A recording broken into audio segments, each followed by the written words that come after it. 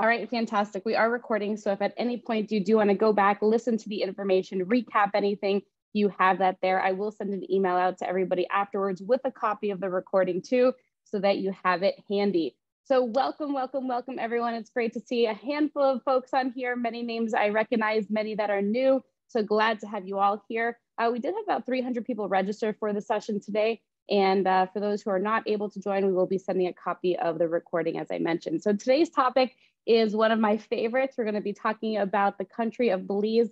This presentation is really geared to be a very high level general information session. Uh, we are going to have future sessions for future workshops that really break down to the different districts, to the different topics like residency, what the titling process looks like, all of that. So you'll get invitations to join us for that. But I'm gonna guess this will be about an hour, maybe about 40 minutes of me talking, and then we'll open up the floor to questions and answers. So all right, let's just jump right in. So hello everyone, once again, my name is Rachel Jensen. I am on the board of the Belize National Association of Real Estate, and I'm also an owner of a real estate brokerage here called Luna Realty Belize.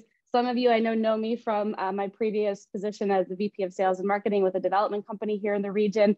Uh, I have since branched out and started my own brokerage here. You will see some of those properties featured though in some of the opportunity sections uh, it's a great project that they have there, and I'm excited for folks to get to see them. So my story is I started uh, living in the region about 10 years ago, originally from New York, made my way down to Central America in 2012.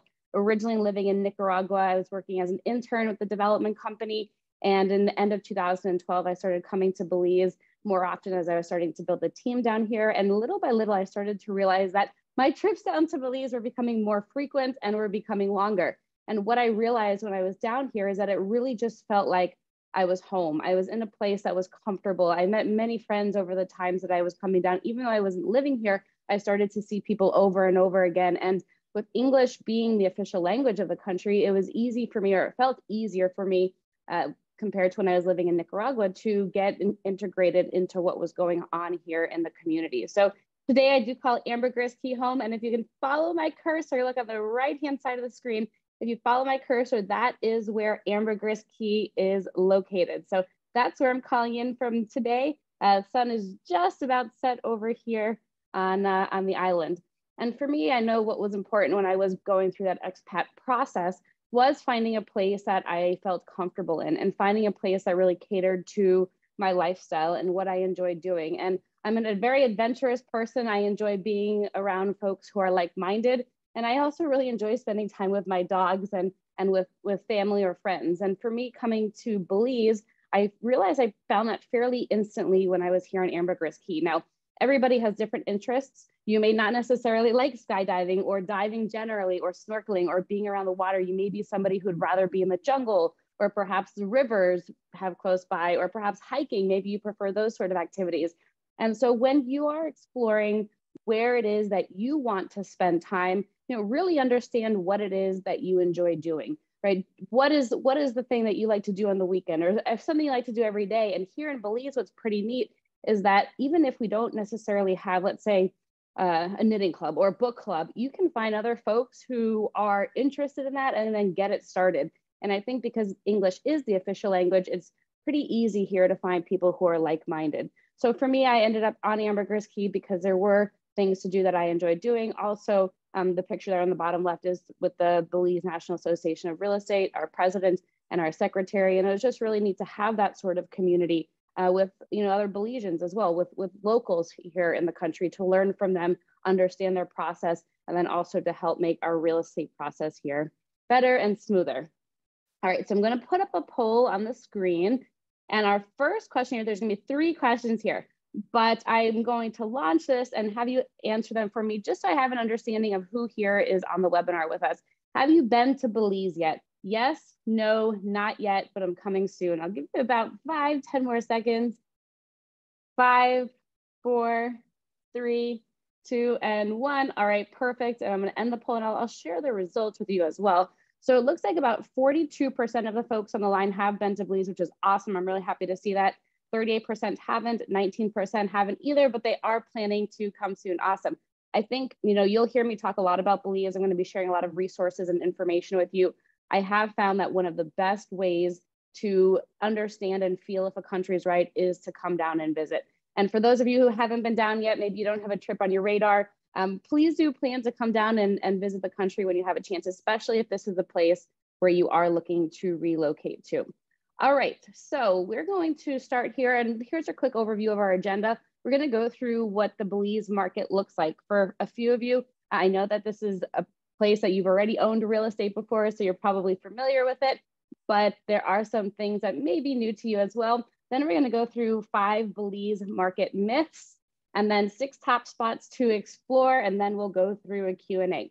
So I, I believe I'll be speaking for about 40 minutes, and then from there we'll open up the floor to the Q&A. As you have any questions that pop up during the session, feel free, feel free to find that Q&A section or the chat section there and type in your questions, and we'll get those answered for you at the end. All right, so just a quick overview about Belize. If you're not too sure where we're located, we're nestled in between Guatemala and Mexico small, small country, about the size of Massachusetts. It's actually the second smallest country in the region, but population wise, it's by far the smallest population at about 400,000 people. I mentioned to you before that English is the official language of the country. You will still hear Creole spoken, a lot of Spanish is spoken as well. Sometimes you hear spe people speaking all three languages in the same sentence, which is pretty neat. But do know that if you're somebody who struggles with learning another language, this may be a right the right spot for you if you're looking to relocate. The GDP is about 1.76 million. Um, it's you know not really too high, but it is a small country here. And then we are on the Belize dollar currency. It's pegged to the US dollar, two Belize dollars to one US dollar. So when you find yourself here, you're in the grocery store. Assume, by the way, everything is in Belize dollars. When you go to the cash register, they tell you it's $3 for your, your Coke. Then from there, you're able to give them a dollar 50 US. They do accept US dollars as well. So just something to bear in mind. Um, I do want to correct one thing I just said though. Assume things are in Belize dollars unless we're talking about real estate. So all the prices that you see here are going to be in US dollars. Typically, when transactions are done between foreigners, they are done in US dollars. With the Belizeans, if you're Belizean selling property or Belizean buying, that interaction there would be done in Belize dollars. So unfortunately, when you see the prices on the screen, don't cut those in half. Those are at US dollars. All right, so I just mentioned a couple of these fun facts too. We gained our independence in 1981. Tomorrow actually is going to be the 41st birthday of Belize. So it's still a very, very young country. I mentioned to you that we're the second smallest country in the region. And then also one of the big reasons why Belize has really started to gain more popularity is because we have the second largest reef, or the second largest reef is the first living, first largest, um, second largest reef, but it's the first reef that is living. Uh, the, the barrier reef is actually um, dying quite quickly. And so the barrier reef here is the largest living reef in the world. So uh, living reef. So it's always important to know that part too. All right, so let's just talk a little bit more about the Belize market. So we are seeing incredible amounts of sales. I can tell you uh, in 2020 when the rest of the world, the entire world shut down really, I remember thinking to myself, who in the world is going to be buying real estate when they can't come down and visit in person? Uh, the market at that point exploded like it did in many other parts of the world. People were buying left and right, holding on to properties that they had. Here in Belize, it's typically a cash market. So a lot of the buyers are coming down with cash. They didn't have a mortgage. There weren't really the foreclosures that some people expected. But because of that, we are seeing a ton of sales continuing now as well, um, because we're not really affected by the interest rates that we're seeing hike up around the world. Um, with English being the official language and with it being really beautiful year round, it is a tropical climate here. We are at about 85 degrees year round. Uh, there is quite a bit of humidity, but you do have the beautiful blue waters and the Caribbean waters. Um, but overall, it's a really a slower, more relaxed pace of life. And I think for a lot of people, especially those who are looking to relocate, that's something that we're really looking for in life, especially if you have been somebody who's been working for a really long time and you just want to be able to sit back on a beach, relax, and not really worry about much. But overall, there really are three different groups of buyers who are buying here in the country. Uh, we do have the group who's coming down to relocate.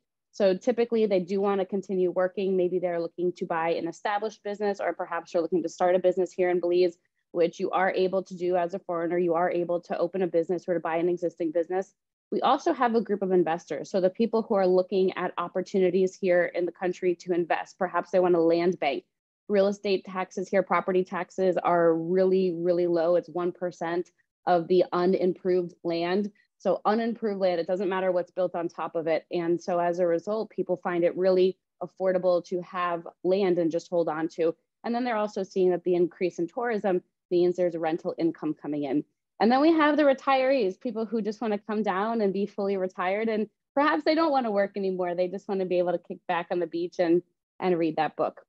So a couple of benefits for you here in the real estate market. One is that locals and foreigners, you do receive title to your property. Uh, I know there were a couple of folks I was talking to and they mentioned Mexico. They didn't really feel too comfortable in Mexico on the coast because they weren't able to get title. They got the bank trust, but they really wanted title to their property. They know that once they had it, they had it for life. In addition, I just mentioned this to you, but property taxes are low. I'm going to repeat what I said on the slide before because it is pretty important. Property taxes here are assessed on the unimproved land, 1% of the unimproved land. It doesn't matter what's built on top of it. They don't look at your paperwork when you purchase property and say, all right, they, they, they pay $300,000 for a property, we're going to charge 1% of that.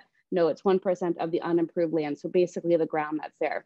There's also zero capital gains tax in Belize. So if today you buy a property for 300,000, a few years you sell it for 400,000. Here in Belize, you pay 0% on that $100,000 gain. Also, I don't know where uh, what the, the taxes are like in your home country. So do make sure you're checking with your accountant when that does happen. Uh, and then there's also a stable government here because it is a British Commonwealth. A lot of the times we feel more comfortable with that. We're able to go through the paperwork. We know what it says. We don't need to try to translate everything and uh, and it makes it a lot more comfortable for us as we're going through that process.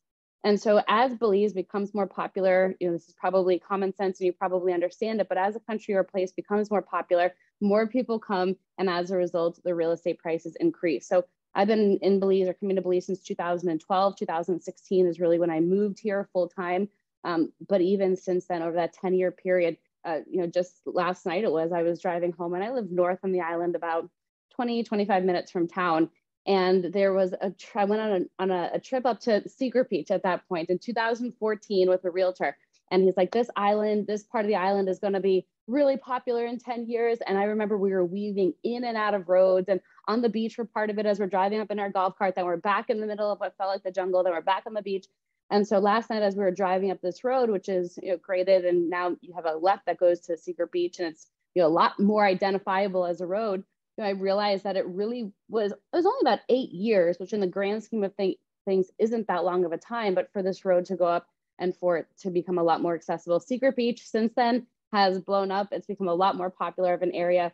And so it's just interesting to see, even over that eight year period, how much growth there has been in this country. And I remember when I first moved down to Belize and or first came here in 2012, and I was telling my friends and family, I'm like, oh, I'm so excited. It looks so beautiful. Personally, I actually had no idea where Belize was. I had to go on a map and then go to Google Images and look it up. And then I started telling my friends and family about it. They also had no idea where it was. And then I think it was about 2015, 16, 17, where it all started to click for them like, oh, Belize, we heard about Belize. We you know, saw it in an advertisement. We saw it in the airport on those big billboards or whatever the case may be. And so now we're seeing as more and more people are discovering it, there's a lot of uh, price increase as well. All right, so we're gonna jump into the market myths. The first one here is the cost of real estate. And you know, a lot of times when I'm chatting with folks, I'll ask them what it is that they're looking for. And I really appreciate the people who, you know, have an idea of what you're looking for because then it's easier for us to try to find opportunities for you. But I also understand sometimes we have no idea what we want, but we know we just want to get out of Dodge and go to go to the beach or something along those lines. But um, you know, I wanted to show you this example here because while Belize is a developing country, right? It's not as expensive as Bermuda or Bahamas or countries that are really developed in the tourism market. It's still a developing country. So I'd say that land is generally going to be more affordable than it would be in California or, or Florida, for example, or even Bahamas, but it may not be as cheap as you think that it may be. So this is an example of a two bedroom, two bath or two bedroom, one bath house that just sold for about 550,000 um, there's actually quite a bit of work that needed to be done on it. It is on the beach and it is about a half an acre that it's on. And this is about 20 minutes from town. It's actually just right at the beach from us. And so, you know, I, I sometimes like, yep, we want a beautiful beach house and we we want to have an acre of land or something like that. And we here's a hundred thousand dollars. What can we get? So there are still opportunities, except however, I would recommend just be willing to be a little bit of flexible, be, be willing to be a little flexible. While you may not necessarily be able to be reef front, right, looking out at the at the reef in the Caribbean, you may be able to still have that water view and be overlooking a canal, for example, or and has a sunset or looking over the lagoon, for example. So do understand that. Do try to be a little bit flexible with your plans too. You can still get that water view and not necessarily have those Caribbean coastline premiums. For those of you who are looking to relocate here, I do have a list of estimated living expenses. If you'd like to take a look at that, it is on the on the website under the, the blog section. Um, so it's resources and then blog, then you'll find the cost of living chart. I just put that together last month in August. So you're able to see what things cost just about. But understand that it may be less expensive than North America, but I wouldn't really necessarily call it cheap. And the, the one thing I will say with that though too, is that it also depends where in the country you're looking. You know, you may be looking on Ambergris Caye, which is the most popular place in the country, or you may be willing to go outside of the, the tourist zones and be willing to land bank for a little bit and hold on to the property and wait for it to appreciate in value. Um, I really appreciate the folks who reached out beforehand and, and, gave me an idea of some of the questions that were on their mind. I have integrated those into the session here. So thank you for, for that. I know a couple of the questions that came up was what is the general price per square foot? So this goes along the line of debunking that first myth, which is the real estate cost. It is really, really difficult to give you an exact answer or to say it's $100 uh, a square foot, $150 a square foot. There are so many factors that are considered in this. So for example, tiny homes. I know tiny homes have been really, really trendy and you know, they're typically three, four, 500 square feet. Now, when you look at a tiny home, it's compact in size, but it has all those essentials that really bring up the cost when you're building a home that's larger. So it has all the kitchen appliances, it has the bathrooms. And so maybe also has solar panels, right? Solar panels cost 20, 30, 40 grand each. You also have maybe reverse osmosis systems or water catchment systems. So you do have a higher square, uh, higher price per square foot when you're looking at tiny homes compared to other homes. In addition to that, you do tend to find that the islands and keys are more expensive. And the reason for that, I mean, it's a very pretty, pretty logical reason, but there's transfer, extra transportation costs to get the items from Belize mainland, for example. So you're gonna have higher prices on the islands. Uh, what you will find though that costs less than in North America and in many other countries is labor. Uh, labor here is very inexpensive compared to California. We'll say typically it's about five Belize dollars an hour, so $2.50 an hour um, for labor. So that's probably where you'll be saving. Um, building permits are also not incredibly expensive. I think it was about maybe about four or five hundred dollars. That also depends on totally what you're building, but uh, I do tend to find that those are less expensive than North America as well. What will most likely cost more than what you expect are appliances solar imported items. And the reason for that is because Belize does not really produce much.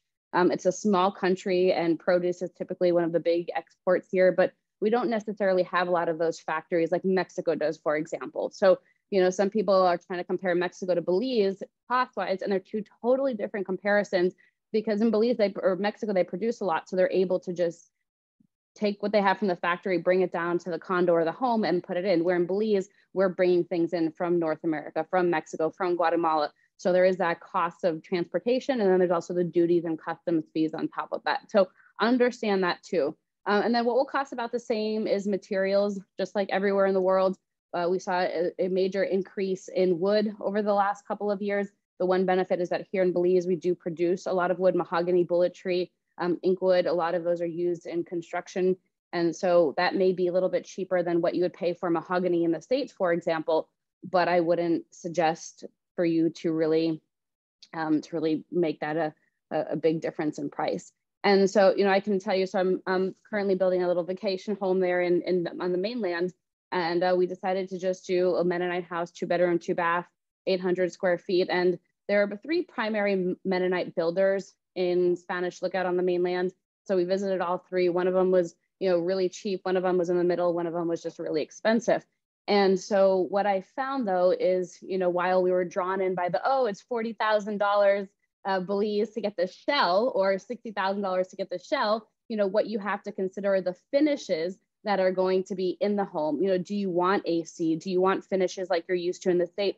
Because we could have very easily gotten that, that 30,000 US shell but then we wanted to finish it to have the comforts that we're used to. So you can find those really inexpensive properties if you want them, but at the end of the day, you know, it may not necessarily be what you're you're used to. And I think you know, when we factored out the numbers, what we ended up seeing was that it's about $150 US a square foot for a Mennonite house, a prefab Mennonite house that included the deck. It included the, uh, the, the concrete bottom. It included, you know, a lot of those finishes that we were really looking for. So, I mean, that's not at all a number for you to write down and say it's going to be 150 feet a square foot, but $150 a square foot, but just something for you to understand.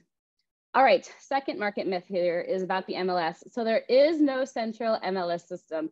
And also the real estate websites are really not updated as the sales happen. So you may spend all of this time going through all of the websites for all the different real estate companies here and see ultimately that something is available. And then you check in about it and like, oh, sorry, that sold six months ago. So it is a bit difficult to find properties here. Um, and that's really where we recommend you find somebody who is in country, who's very familiar with the market to help you out from that perspective. This was one of my favorite. There's Ambergris Caye MLS or MLS ambergriskey.com, which is not actually a real MLS for the island. It is just a couple of different real estate companies that came together and said, all right, let's just buy this website, buy this domain and claim it as an MLS. So just something for you to think about there too. All right, the next one is the real estate agents. So here in Belize, we don't have training. There's no licensing that happens. Um, so real estate agents essentially are people who say, yep, the real estate market looks great. I think I'll help people find property. Um, and of course, they're a bit more professional than that in most cases, but there's no formal training that's needed. And so um, what I would recommend, there is an association here, the Belize National Association of Real Estate. Um, it's the one that I sit on the board of, but they do a really incredible job at vetting the agents so that they're able to look into who they are as a person, how long they've been practicing real estate, and then you'll be able to find somebody to reach out to through that website there. The next myth we're going to talk about is the titling process. So um, this is important. Really write this down because I don't ever see this advertised on any real estate agents' pages. Is that in Belize there is an 8% titling fee. It's called the stamp tax. It's 8% of the purchase price.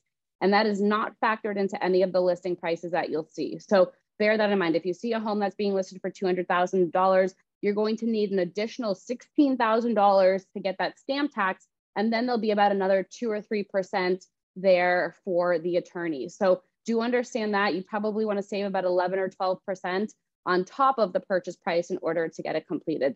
Um, also takes about 12 to 18 months to receive your physical title. Um, there, I know there's a lot of information on this slide here and I'm happy to send this to folks, but this outlines the buying process in Belize. And the reason that I wanted to mention this is because this last part right over here, it says 12 to 18 months, um, that's at this last point over here is it's not uncommon for you to, to take that long to receive your physical title. However, when your property is being registered with the lands department, so I'm going to just give you a quick overview of the process. You decide a home that you want to purchase, you'll put down a deposit for it. You and the, the seller will sign an agreement, an offer to purchase letter. Everyone's you know happy about it. We're excited.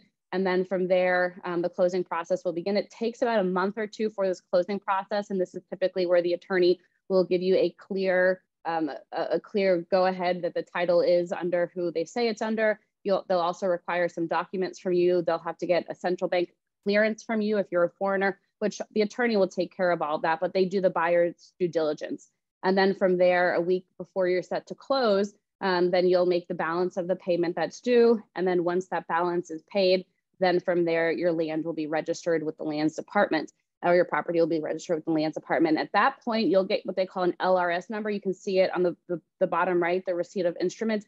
This is the information that shows, I mean, essentially shows that you are the owner of the land. I know for some folks, especially those from the States where we're used to being in getting titles in 30, 60 days, uh, here you're not gonna receive that physical title, but you will get an LRS number, which shows that you are the legitimate owner of that property. And then they also have started an online portal, Lands Department has, where you're able to type in your LRS number and see where that physical title is at in the process. Sometimes it's updated, sometimes it's not. So I wouldn't really depend on that, but your attorney can certainly help you if you are feeling uncomfortable.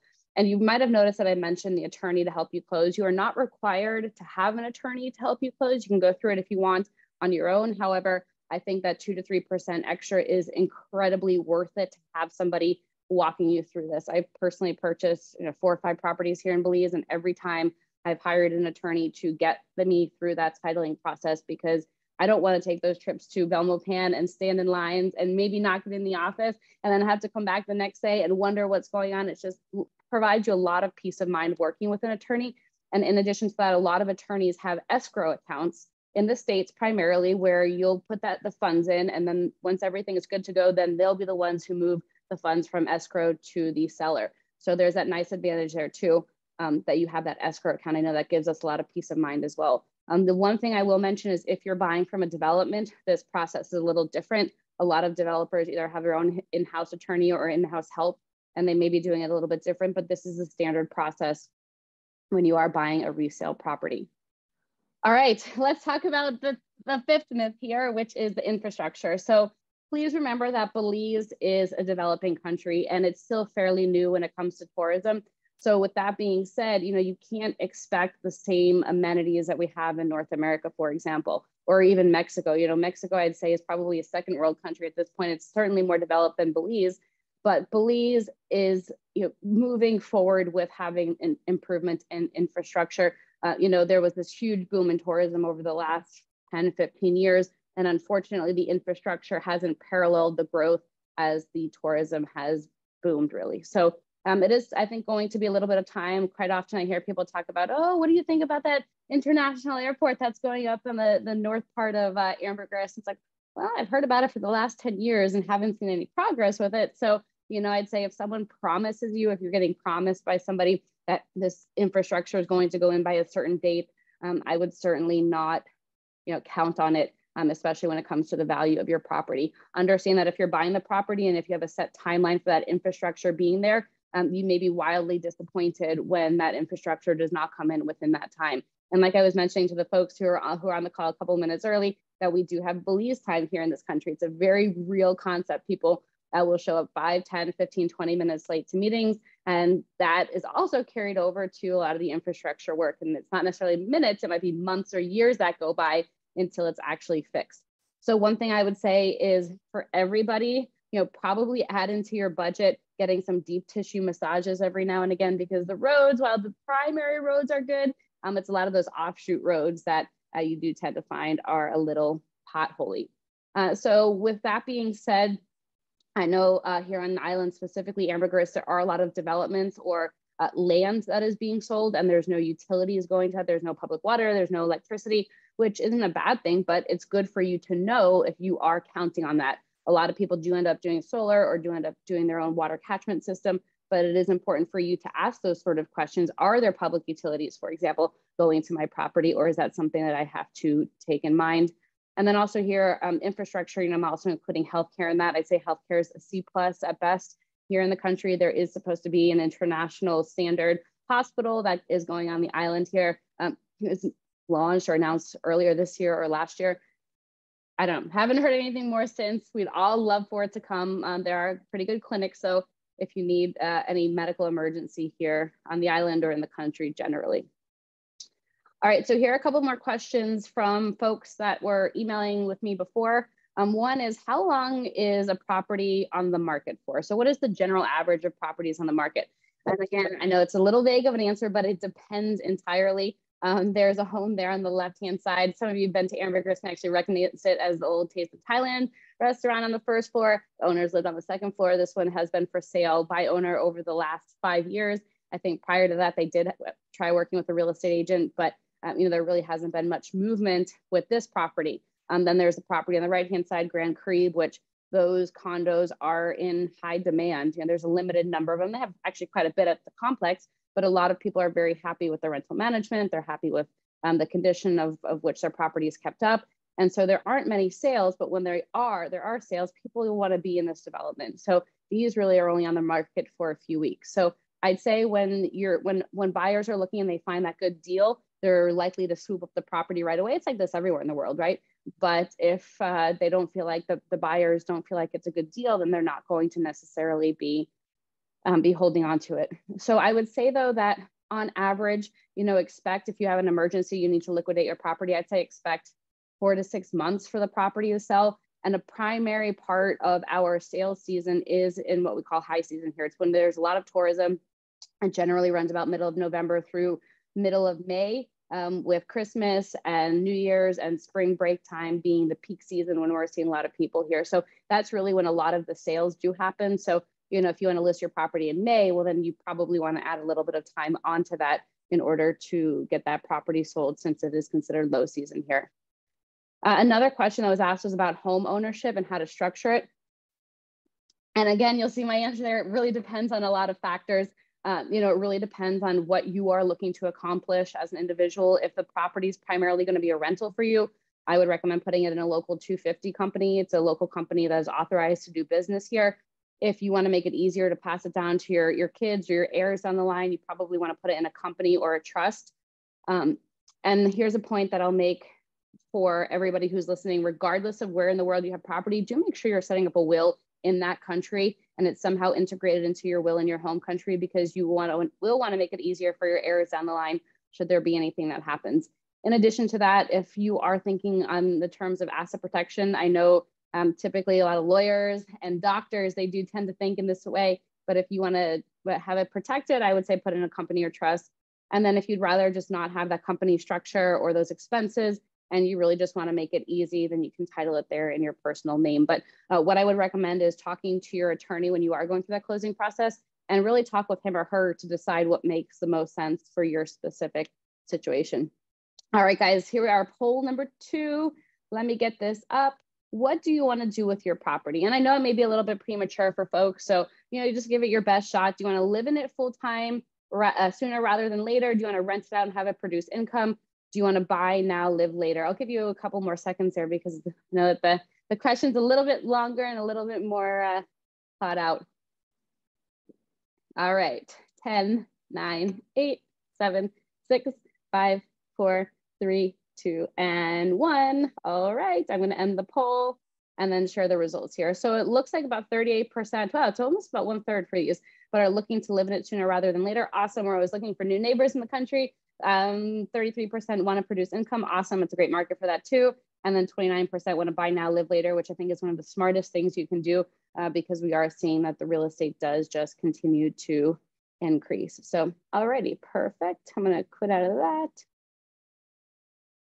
And we're going to go to our next section here, which is the top six places to explore. So, over the next few slides, as we go through each district, I'm going to start at the northern part of the country and work our way down. So, we'll start with Corozal, work our way down to Placencia, but for those of you who aren't too familiar with the layout of the country, I want to just stay here for a quick moment uh, to help you really understand where things are located in the country. Um, it's a very small country. There's four main highways on Belize mainland, and uh, those are actually in pretty good condition driving wise. You just have to be careful of the speed bumps and potholes every now and again, but uh, that would be my only caution when you're when you're driving on the mainland.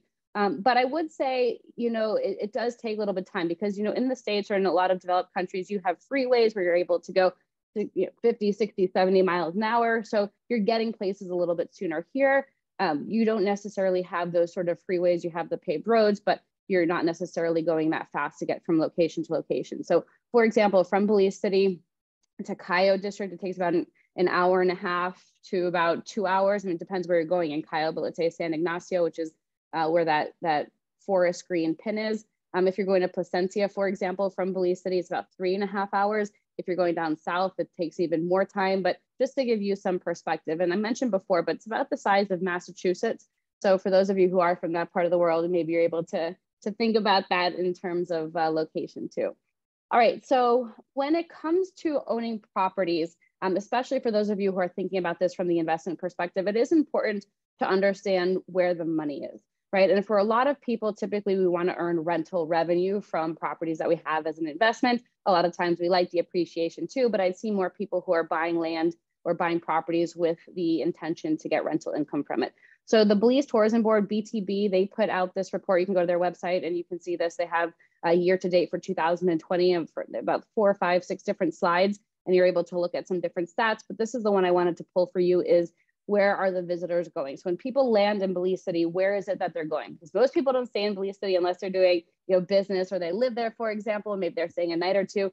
But in most cases, when people are coming to the country, they're flying into Belize City and then going somewhere else. So the chart I have on the left-hand side is for 2022 year to date. And then on the right-hand side, it's 2019 Um, and that's obviously a full year since that was completed before COVID. Wanted to show pre-COVID numbers. So 2022, uh, you can see here year to date, San Pedro is the destination in the country that is seeing the most number of tourism. Um, I'm not really surprised. San Pedro is one area that continues to uh, be visited by a lot of tourists because of the reef. And then behind that would be Cayo District, which is more the jungles and the rivers, Placencia, uh, and then Caye Caulker. And so you can see in 2019, it was really very, very similar. It was Ambergris Caye. Key Cocker was actually in second, and then San Ignacio Hopkins kind of, and then City is usually for, for business purposes. So we can take that out for the time being. So top places to own, um, Corozal is popular because of the location. It's close to the Mexican border. It's really known as a quiet fishing village. There are a few retirement communities there as well. Ambergris Caye and Caye Caulker, these um, two islands here are really the most popular when it comes to tourism and the expat population. I'm on Ambergris Caye. It's where we have the, the largest number of expats in the entire destination, the entire country of Belize, and is popular because of that reef. Cayo district, this is where you find more of the farms and the rolling hills and jungle area, rivers. And it's great for people who want to be really closer to nature. I'd say there's a lot of hiking over there uh, and a lot of uh, folks who are looking for larger tracts of land for farming. Hopkins, uh, this is an area that's up and coming. I personally prefer it to Placencia. I think there's a lot of opportunity for appreciation in Hopkins compared to Placencia, but this is where you have really beautiful coastal beaches. And you also have river properties here too on the Sittee River. Um, and what personally I like about Hopkins is that you have the water and then you could be hiking in 15, 20 minutes at the Cockscomb Basin. So um, this, I think for me personally is the best of both worlds, but, and I am starting to see it become more popular. Placencia, um, I've, I've know a lot of folks have expressed interest in Placencia. This is, this is a, a popular destination for tourists as we saw before, um, but it does tend to be a lot quieter than places like Ambergris Caye or Caye Caulker. Uh, in addition to that, you have more of those larger single family homes there. There are some developments as well, but it certainly is a lot more laid back than the Keys. All right, so we're gonna jump a little bit more into the districts, talk about Corozal. So Corozal is about two hours from uh, Belize City where we had that star and that first on that first page. Population for the district's about 10,000 people, and it's known, like I mentioned, for the proximity to Mexico. So in Belize, we don't have the chain stores, we don't have Sam's Clubs, we don't have Home Depot. We don't have all of those elements. And so when people want to have those department stores or those bigger stores, they'll hop over the border to Mexico, pick up as much as they need, and then come back. And for some people, they like that convenience. We don't necessarily have that sort of convenience in Belize, but from Corozal, you do have more access. Here's an example of a home. Um, this is a, a single family home for about 230 uh, $230,000. You can see there a three bed, two bath. And I'd say Corozal is one of the more affordable places if you are looking for a single family home. Um, and I'm going to just show a couple of examples from each district. And then down the line, we're going to have specific market analysis sessions for each of the areas where I'll give you more examples. But I just want to give you a little taste of what it looks like now. All right, Ambergris Caye. We're going to jump over. I mentioned the reef to you. You can see the reef in this picture, which is one of the big reasons, as I mentioned before, people are coming here for that diving and fishing and and snorkeling. And it takes about 15 minutes to get to this island from Belize City uh, by puddle jumper, or it takes about an hour and a half if you decided to take the water taxi. Uh, population, actually, this is interesting. So there wasn't really a census done anytime soon or anytime recently, but uh, according to NEMO, there is an estimated population here of about 55,000 people. So a bit more than people anticipated, um, but about 55,000 people living here on the island of Ambergris Caye. And like I mentioned, known for the reef and the fishing and snorkeling. Um, this is personally where I decided to call home because I liked the expat community here. I like the fact that there are things to do. There's comedy shows, there's live music. It's easy to get around. You know, we have our little golf carts and that's how we drive through through the island. And for me, I liked that level of, of, of comfort. And then if you're here, I definitely recommend trying Hol Chan and, and Shark Alley for diving or snorkeling. And then you can take what they call what the food tour, which is really neat. You go to a handful of the different uh, local restaurants and try some of the top dishes here.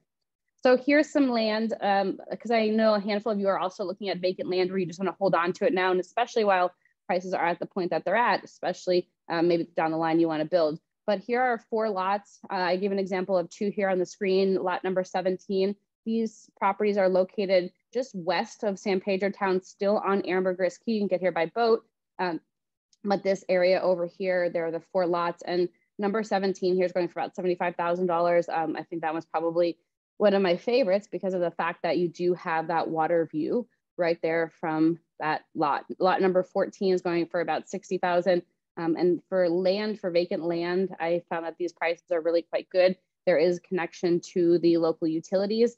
So before we were talking about electricity hookup, you do have electricity hookup here where a lot of the other vacant lands that are being sold outside of San Pedro town do not. Uh, here's a home, a, a pre-construction tiny home uh, that's going for about 240,000. It's one bed, one bath, about 641 square feet. And remember what I was talking to you about before, uh, when it comes to price per square foot, if it's a tiny home, prices do tend to be a little bit more per square foot because you're compacting everything inside that structure. So um, I've gone out to this property quite a bit. It's probably uh, one of my favorites out here because of the location. If you're a fly fisherman, this is most definitely a place that you should be looking because you're able to do that right there from your deck or, uh, or your veranda out into the canal. And uh, all of the homes there on the canal do have water views and you're able to get that sunset view as well. So these are pre-construction and uh, they are, there are actually a few homes that are already constructed. Um, they're not tiny homes, they're more studio styles, but I'm happy to give that information to folks. Here is a two bedroom, one bath over the water home. This is really great for people who want to be in the rental market. The reason I say that is because it's a very unique concept, the over the water home. This one's about 750 square feet. Uh, one of my favorite features here is the plunge pool that you see, and then there's also the swing and you're looking right out. This is another great spot for people who are fly fishermen to come because you can just go right out there in the water and, and fish. Here's an example of a single family home right there in the water. And so I wanted to show this example because I know um, it's attractive for us to have a single family home on the water, but you do see that it does tend to be more expensive. This one was going for about 1.3 million, four bed, four bath, but it does have that view right there of the Caribbean. Uh, for those of you who want to be in a condo community, perhaps you want to live there full time or you want to rent it out, um, this would be one of my best suggestions. It's a three bed, two bath in a development called Las Terrazas. Las Terrazas is highly um, recommended on TripAdvisor. It's in the top 10. It's constantly receiving awards for being one of the leading hotels in Belize. Uh, this one's located about 15 minutes north of town. And the condo that's for sale is not waterfront, but it does have a water view from the veranda. So this one's a three bed, two bath. And then also pre-construction opportunity. This is in a branded hotel, the Best Western. So there's a one bedroom on the fifth floor uh, going for about 190 plus furniture package and plus those closing costs. Remember to always add the closing costs onto the numbers that you see. Uh, this one is unique because they do offer up to 80% financing and it's not really common for developers or sellers to have financing. If they are, it's definitely by seller. Um, you know, you don't typically go through a bank to do the financing because um, rates just tend to be fairly high or they don't accept foreigners for banking purposes. All right, Caye Caulker. We're going to jump over to our sister island over here. Caye Caulker is what I would say Ambergris Caye was 20 years ago. The streets are still sandy, uh, whereas in Ambergris Caye, we've started to see them get paved. The motto here is go slow. So people do tend to go slow, um, but distance wise, it's about 10 minutes by puddle jumper and then an hour by water taxi from Belize City. Population is smaller. It's about 2,000 people. It's a much smaller destination as well. And here you also have that barrier reef and the fishing and the diving. Here we do tend to see um, a lot of, I'd say, uh, backpackers who are coming through Caye Caulker. And so the market there does tend to cater to backpackers. There are a couple luxury hotels, um, but I'd say the market here is, is really Europeans or backpackers. And then if you're there, you must try the iguana reef and go there around 4, 4.30. The stingrays are getting fed. It's a pretty neat concept. They'll just come right up to you and that's pet them if you want, but it's a pretty a pretty neat concept. Or you can uh, spend the day at Lazy Lizard, which is at an area called the Split. You have water all around you. You're able to jump in. You can jump off a platform that they have there, um, but it's a really beautiful, relaxing place to be. So here's the example of a 50 by 100 piece of land. This is vacant land at this point, and this is going for 78,000. You can see that there was a price drop there.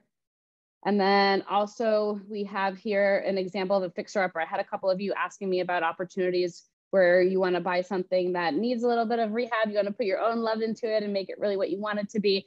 Uh, this is one of the only properties actually I found on Amber or at Caulker rather that is a two bedroom fixer upper, one bath for 185. So um, and that's US. So it's I think quite reasonable for being on for having the bones. Probably does need to be um, fixed up a little bit, as you can see from the pictures, but a good option as well.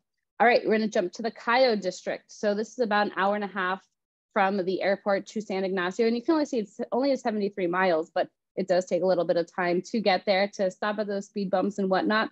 Population of the entire district is about 100,000. And this area is really known for the rivers and the jungles, cave exploration, cave tubing. There are a lot of Mayan ruins over here. Uh, there's a big Mennonite population too, farming. Uh, you can see all that off the grid living. And I would recommend if you're here, definitely try the ATM caves. You're able to go spelunking through caves, see old Mayan artifacts that were left in the cave. It's probably one of the, the, the, the top 10 things I've done in my life was going to visit ATM and then also explore the farmer's market on Saturday. Here's an example of some vacant land going for about 240,000. This is 50 acres of riverfront. Now, granted, it may not have access, it may not have um, access to utilities, but this one I think is a great bargain uh, for 50 acres there uh, with some water elements to it. And then here's an example. I had a couple of you also asking me about tiny homes that were either off-grid or off-grid living. So here's an example at Carmelita Garden. Carmelita is a project I've been following for who, the last six or seven years. And it's been really neat to see the property grow and this community get built. Um, this owner does have to sell at this point, but uh, I think it's quite reasonable for about 150,000. It's a one bed, one bath. If anybody's interested in learning more about it, feel free to let me know. All right, now we're gonna jump down to Hopkins. And uh, you can see here the beautiful coastline of Hopkins. And there really are just a couple of roads in the entire town, which is pretty neat. You can see a couple of them here in this drone footage.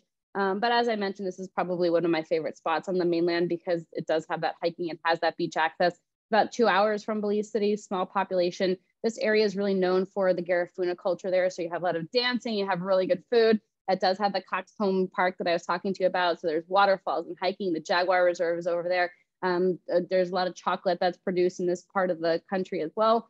And then there's also the Sittee River, which is where I did probably another one of my top 10 experiences, which was a bioluminescence tour and the Sunset River boat ride. So you go on this boat down the Sittee River, and then you go to this lagoon and you're able to jump into the lagoon. You have the bioluminescence around you. It's really just incredibly stunning. I would highly recommend that for more of the adventure travelers. So here you have those sandy beaches, but you also have those hiking spots and the waterfalls. An example here is an income producing villa for about $450,000 This is a three bed, three bath. And then here's an example of a river lot. Um, this is about $53,000. or four lots, so 53,000 each. And there's about 200 feet of riverfront per lot. It's left in its natural state. So you'll have to, uh, you know, fix it up to, to be able to build on it.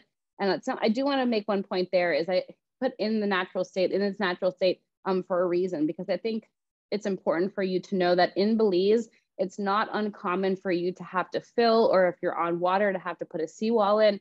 So do understand that sometimes when you're buying a lot, it's not ready to build. So one of those questions that you should be asking is, is it ready to build? If not, do I have to fill it? Well, I have to put a seawall in. And you know, this is something that I recently went through with um, a Hopkins property that I purchased is, um, you know, I knew where the, the lot was, but I can tell you that there was no communication about it needing fill or it needing a seawall. And I went down and visited and saw, you know, that it really kind of is swampy there and it will need that fill. I will need that wall put up, you know, which is an additional X amount of dollars. So those are things that you have to consider, especially as you are budgeting out your numbers. All right, the last place we're going to talk about here and then we'll jump into FAQs or in Q&A is Placencia and Maya Beach. So you'll hear these two names um, quite a bit. Maya Beach is just north of Placencia, but it's there in that same peninsula. So you have a lot of opportunities there. You see Maya Beach is where you see more of like the, the condo complexes, and then Placencia is where you find more of the single family homes. Actually, it's a bit of mixed both, but um, it's about three hours, three and a half hours from Belize City. Population's about 5,000, 5, uh, 5, not 500,000, 5,000. And here, Placencia is a really popular spot for people to go island hopping. There are a lot of little islands right off of the coast of Placencia. You're able to go diving and fishing, snorkeling, except I do want to note that the reef is further from Placencia than it is from Ambergris Caye. So people who really want to go diving typically stay on Ambergris Caye or Caye Caulker because you're at the reef in just a couple of minutes. Whereas here it's you know, an hour, hour and a half to get to the reef. If you are in Placencia, I recommend the Sunset Pontoon Ride with Sandy Cove Belize. That's what we, we're doing there on the left-hand side. It's an incredible boat. They made this pontoon boat out of all local hardwood. And it's just, I haven't been on anything like it before. And so that's why I would recommend it as a top spot to go. But I mentioned to you, island hopping is one of the popular things to do there. Also beach dining. So the island that you see here on the left-hand side is called King Louis Island, and it's also for sale. So if anybody is interested in, in owning an established resort that's already there operating, it's going for about 3.5 million. And uh, it's located probably about, hmm, we did a few other islands when we did that trip, but say about 20, 25 minutes, maybe a little bit more than that from uh, the Placencia coast.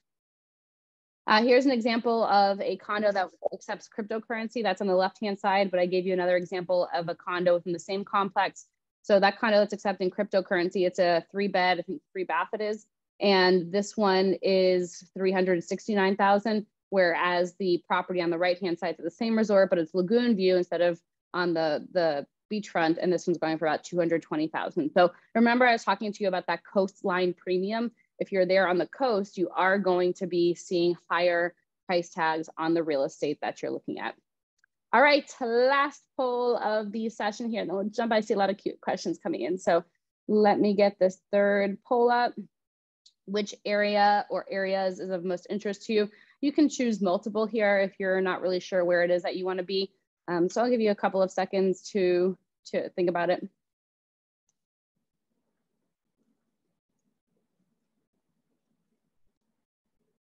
Alrighty. Okay, five, four, three, two, and one. All right, I'm gonna close the poll here and I'll share the results with you all. All right, so it looks like,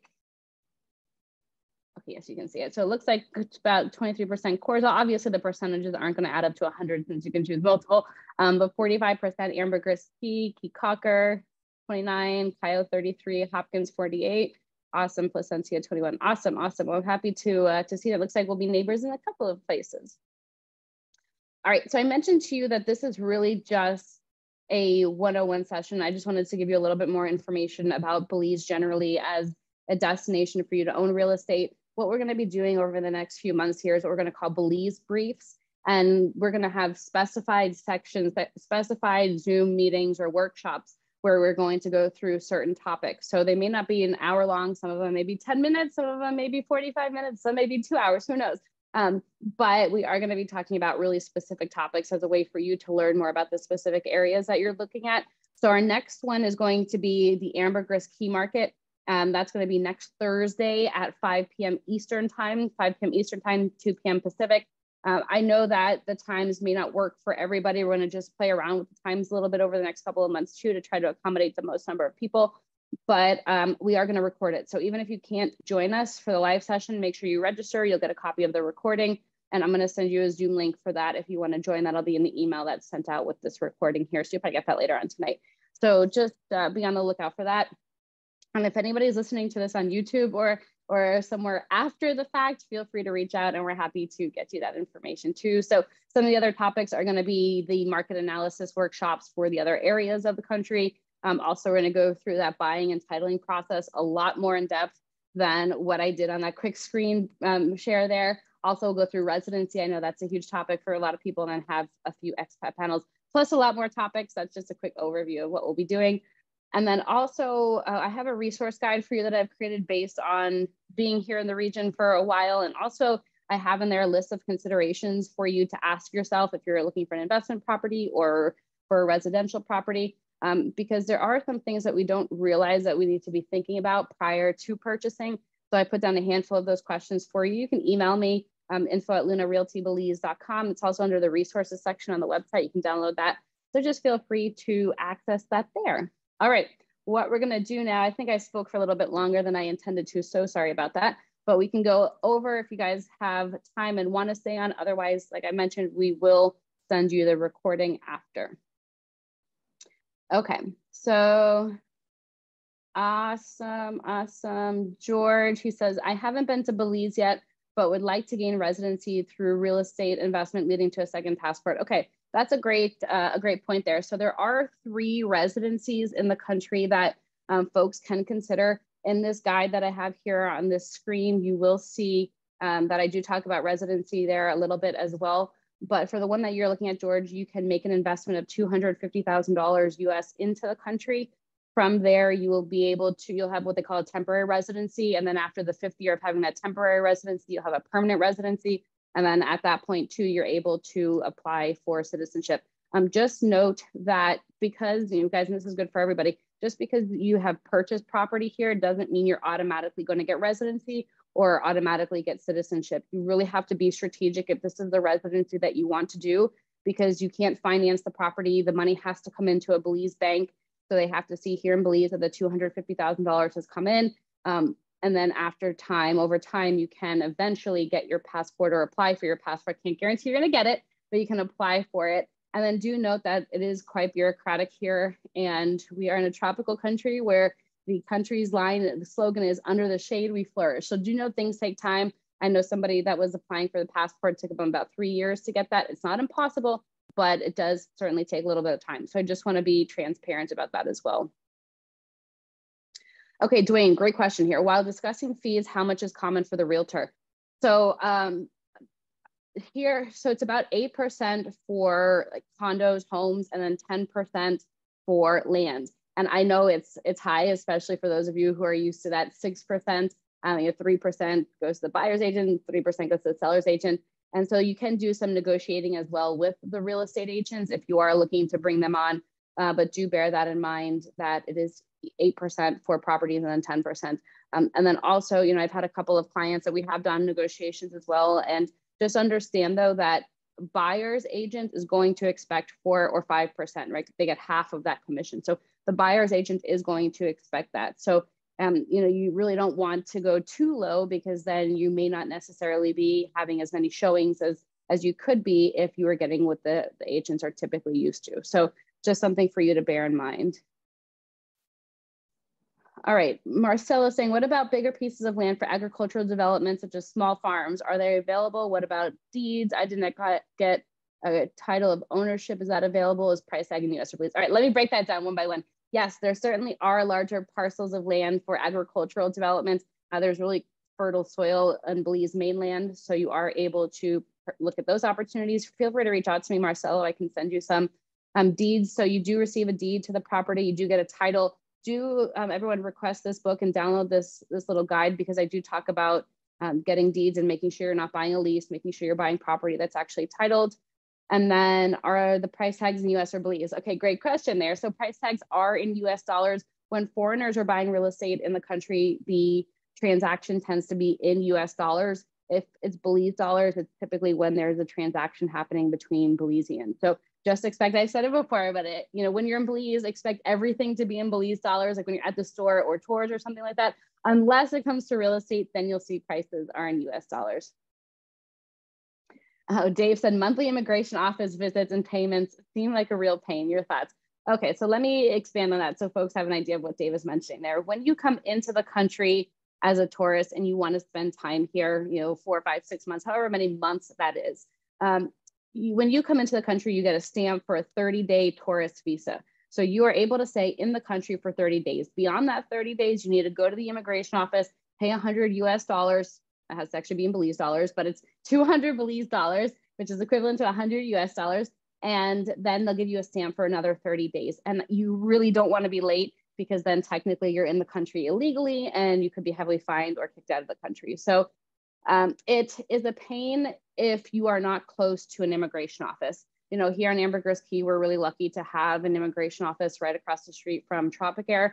So going there really isn't difficult for a lot of people, but I think the difficult part is remembering that you have an appointment. So when you get into the country, make sure that you're checking to know when it is you're going to be um, expired, that tourist visa is going to be expiring, and when you need to go to the office. I would go a day before it expires just to make sure you're there on time.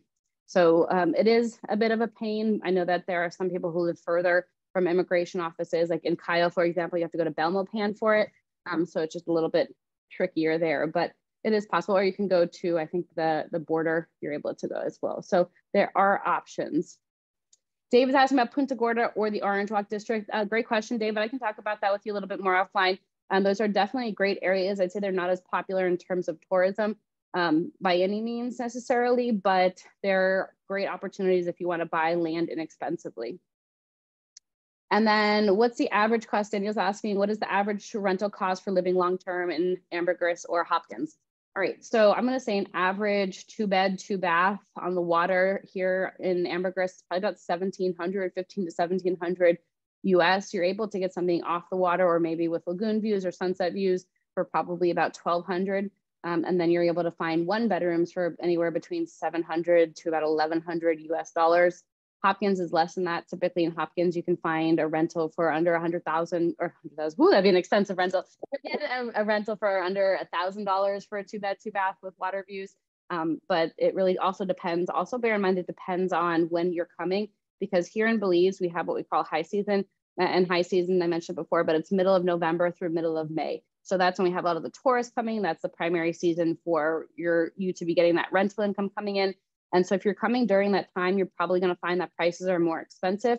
But if you're coming during the slower season, you'll find that they may be a little bit lower. All right, Lori said, sorry, I joined late. Was there any mention of the crime rate? Thank you for bringing this up or policing resources.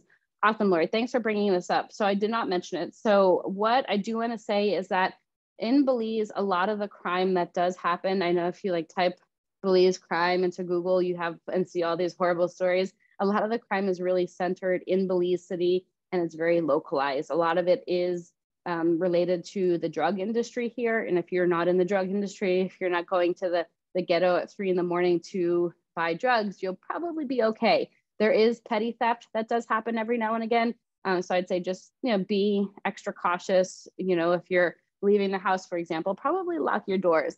Um, but I'd say that it's really not violent crime, especially in these tourism places. A lot of the locals here um, and in the country generally, it's they know it's a tourism industry, right? So they're looking to protect the tourists who are here. So you typically don't see crimes against tourists per se or against expats. If there are crimes against expats, sometimes like, what did they get into? Um, but otherwise, I'd say it's it's quite low when it comes to being uh, a tourist or an expat here. Alan is saying, is there any financing available, available at all? Um, is it only the Best Western property offering? Okay, great question. So this is going to be a very blanket statement here. In Belize, it's very difficult for a foreigner to get financing with a bank.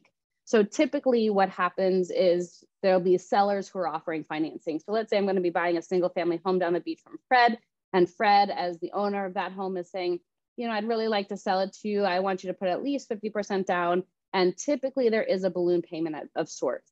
So he is going to give me the rate that he wants to see. Maybe there's a little bit of negotiation. And then during that time, um, I'm paying Fred for this property. And then eventually, when the property is paid off, I'll get it in my name. Now, not all properties have the seller offering financing. Not all developments offer financing either. So it's really just dependent on the property that is being sold. Um, there are some developments that do have great financing. Best Western is one of them. It's probably some of the best financing I've seen. You do have to go through a little bit of a process and, and get a bank account with the bank that's offering the financing, but it is possible.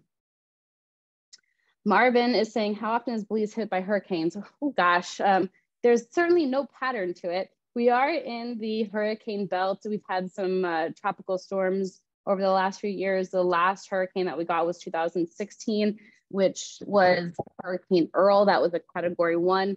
Uh, that did do some damage to the docks that are off the coast over here. Um, but it's not really, you know, we are in the hurricane belt, but I'd say that a lot of the times the hurricanes kind of miss Belize. They go up, you know, either towards Texas or towards Dominican. I know Fiona just went to Dominican and and Haiti and I think Puerto Rico and then went up. So um, luckily we don't get them all that often, knock wood.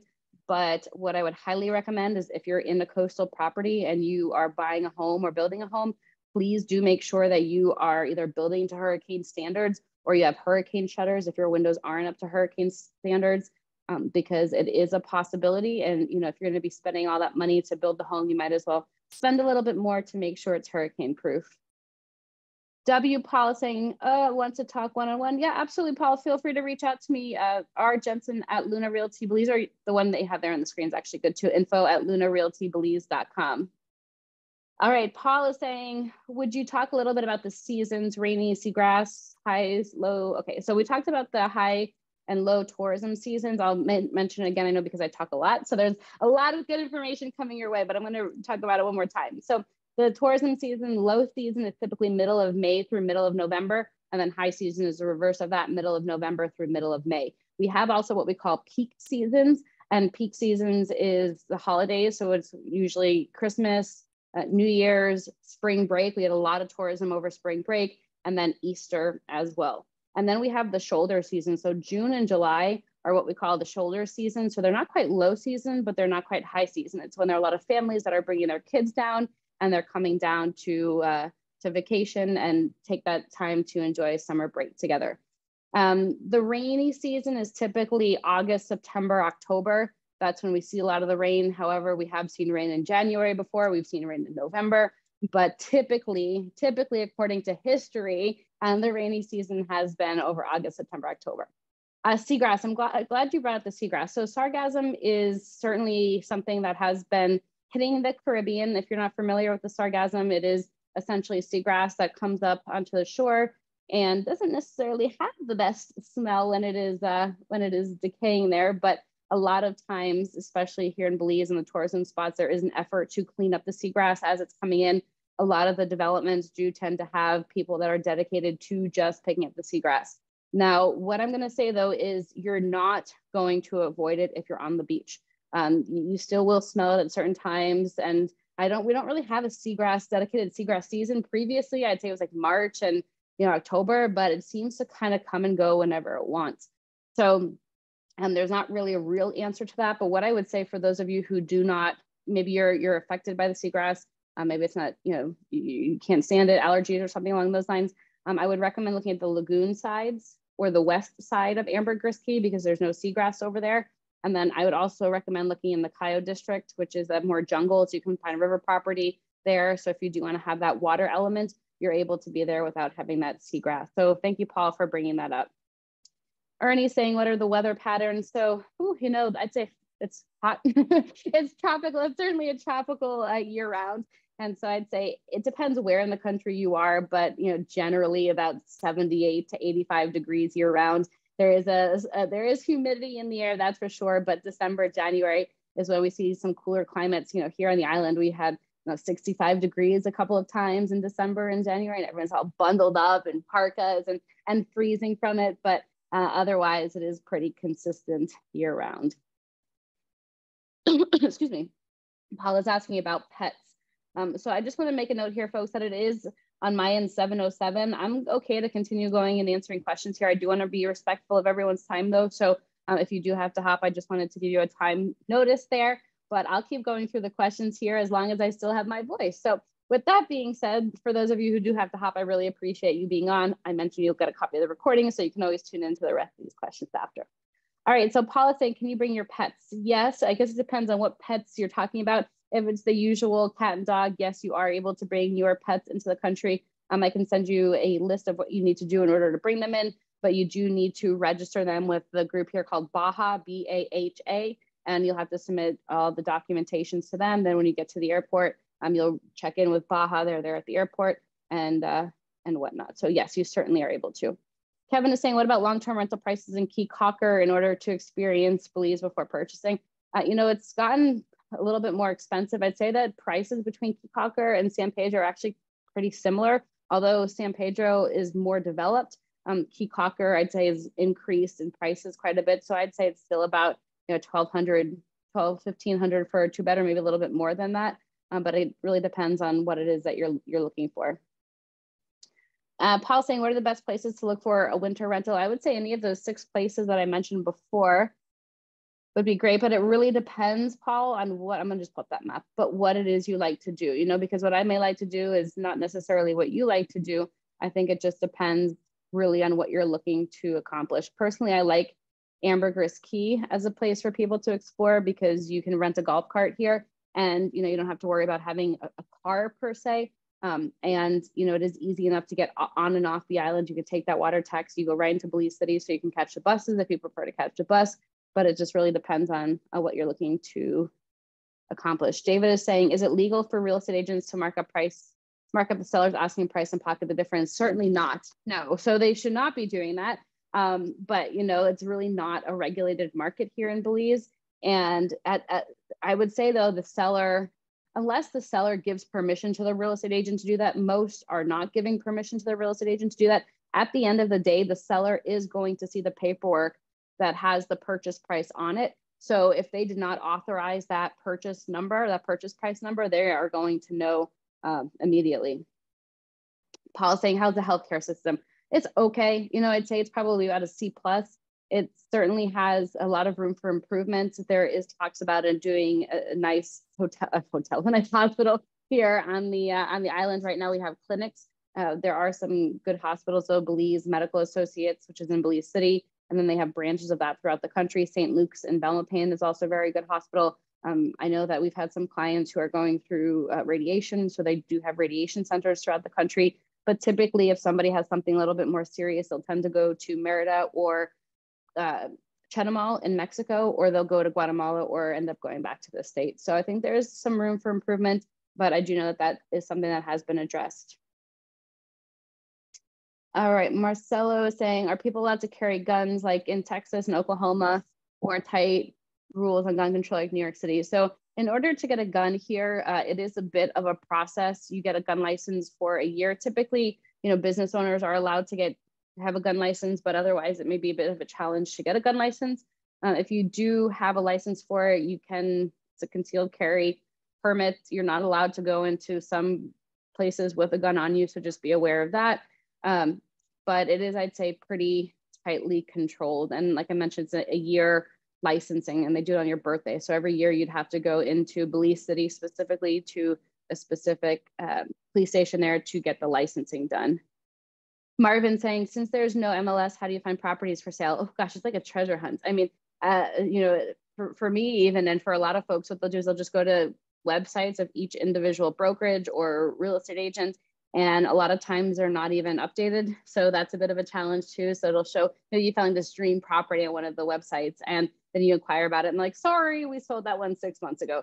So it is a bit of a challenge. I'd say the best thing to do is to work with a real estate agent uh, so that you are talking to somebody who is local in the market who knows what's going on.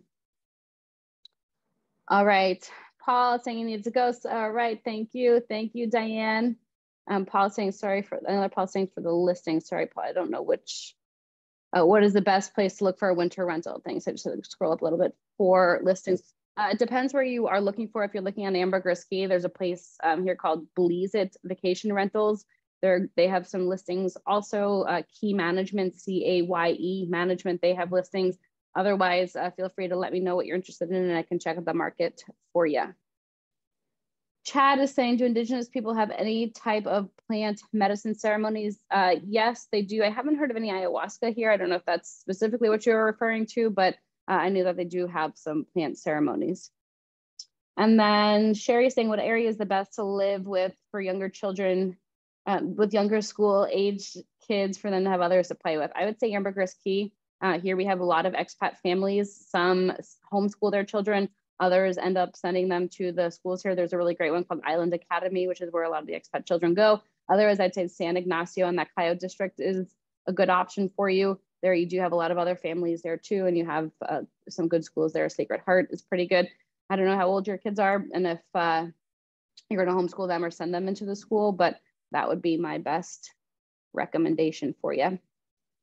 And then Marvin saying, is tourism growing for the islands of Ambergris and Caye Caulker? And yes, and I'm gonna pull up this for a second just to show a little bit more. Now, granted, this chart on the left-hand side is only for year to date. So it goes through July over there, but you can see that San Pedro, um, Ambergris Caye had about,